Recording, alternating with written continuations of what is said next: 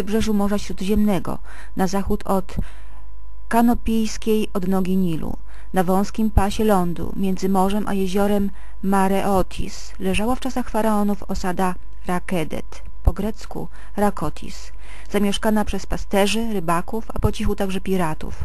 O tym wiemy tylko ze źródeł pisanych, natomiast naj... najnowsze badania archeologiczne dowodzą, że na sto kilkadziesiąt lat przed przybyciem Aleksandra Wielkiego istniały w tym rejonie wybrzeża prowizoryczne porty. Zimą na przełomie 332 i 331 roku przed naszą erą na wybrzeżu tym stanął Aleksander i miejsce, gdzie leżało Rakotis, wybrał na swoją pierwszą Aleksandrię. Założył ich potem jeszcze kilkanaście na trasie swojego pochodu na wschód. Na wybór miejsca wpłynął podobno wieszczy syn Aleksandra. Oto objawił mu się sam Homer i wyrecytował fragment z Odysei mówiący o leżącej naprzeciwko Rakotis wyspie Faros i jej dobrej przystani. Projekt i budowę nowego miasta Aleksander zlecił swemu nadwornemu architektowi Deinokratesowi. Wkrótce po rozpoczęciu robót miał miejsce tajemniczy incydent z wężem, którego zabił Aleksander.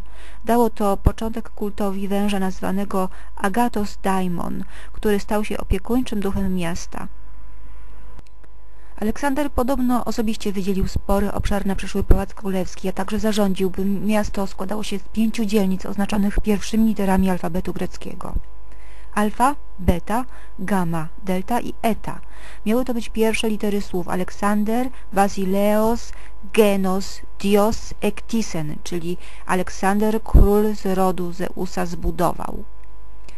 Lata 331-323 przed naszą erą to okres intensywnej budowy miasta i osilania się w nich kolejnych grup ludności grecko-macedońskiej. Egipcjanom przesiedlonym tu na rozkaz Aleksandra z okolicznych wiosek pozostawiono dzielnicę wyrosłą w miejscu osady Rakotis oraz wyspę Faros.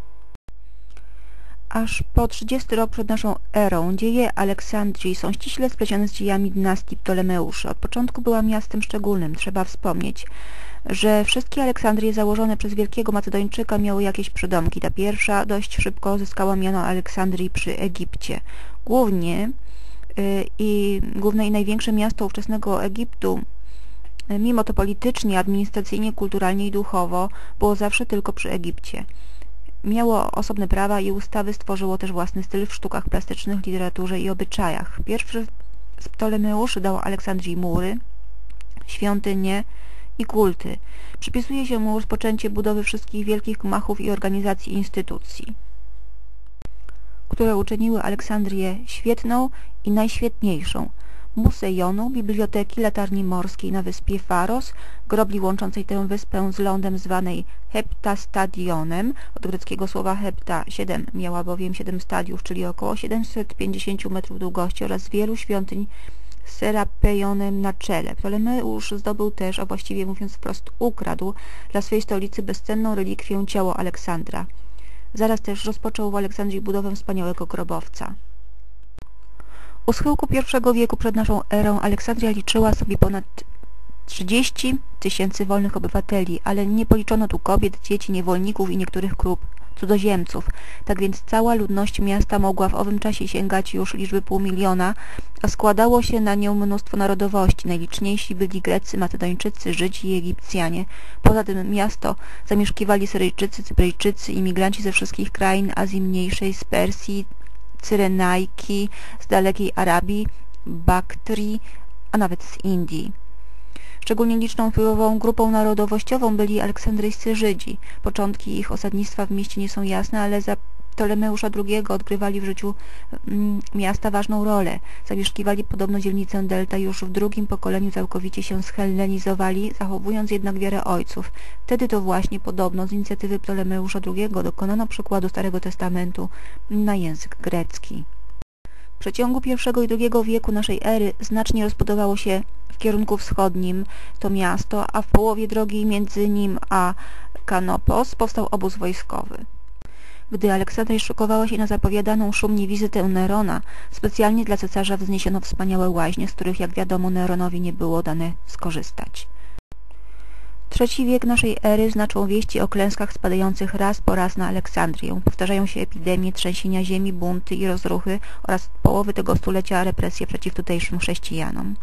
W 297 roku naszej ery lokalny bunt ambitnego wodza Achillusa, stłumiony szybko przez Dioklecjana, kończy się dla Aleksandrii krwawą łaźnią, na szczęście w porę przerwaną wieszczym znakiem, którego usłuchał przesądny cesarz. Otóż gdy Dioklecjan po blisko ośmiomiesięcznym oblężeniu zdobył wreszcie zbuntowane miasto, publicznie przysiągł, że póty będzie trwała rzeź mieszkańców, póki jego koń nie unurza się po kolana we krwi.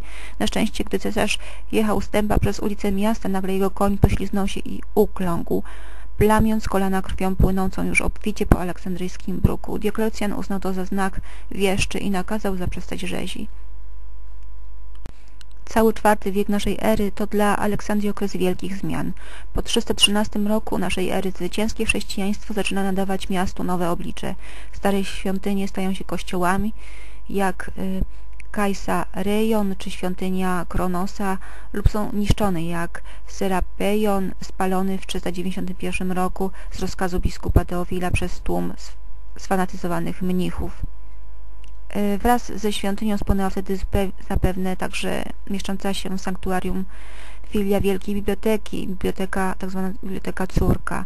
Życie kulturalne i duchowe miasta znaczą burzliwe spory religijne. Tu rodzi się pierwsza wielka herezja chrześcijańska, arianizm. Coraz bardziej narasta też konflikt między Aleksandrią i całym Egiptem a centrum w Konstantynopolu. Archeologia pokazuje nam powolną degradację miasta, mimo że wciąż powstają nowe wielkie budowle sakralne i cywilne, nawet w tych kryzysowych wiekach IV, V i VI coraz więcej jest wyludnionych dzielnic, z których rozrastają się sztuczne pagórki z gruz, domostw i skorup. Niszczeją też kanały łączące miasto odno z odnogami Nilu. Ilu było tych bogów, nie wiadomo, ale z, de z dedykacji dla różnych bóstw możemy doliczyć się aż 45 imion bogów i bogiń greckich, egipskich i innych z najdalszych nawet krain świata starożytnego, którym stawiano w Aleksandrii świątynie, kaplice i ołtarze. Ludności zaś rzymska Aleksandria miała w owym czasie prawie milion. Wokół zdobycia Aleksandrii przez Arabów narosło z czasem wiele legend. W istocie zaś, jak się wydaje, miasto wciąż nienawidzące Konstantynopola i jego władców dobrowolnie poddało się Amrowi. 29 września 642 roku Arm zajmuje miasto nie było więc szturmu, rzezi i zniszczeń, a zdobywca mógł z dumą donieść swemu władcy. Zdobyłem miasto mające 4000 pałaców, 4000 łaźni, 400 teatrów, 12 tysięcy handlarzy warzyw i 40 tysięcy płacących podatki Żydów. Zniszczenie Biblioteki Aleksandryjskiej, skarbnicy wiedzy, to zatrzymanie biegu cywilizacji, ogromny krok wstecz dla ludzkości, tragiczne w skutkach.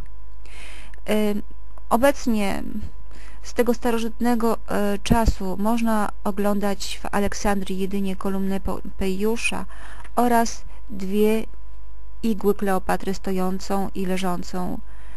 I w takiej właśnie postaci dotrwały do dzisiejszych czasów.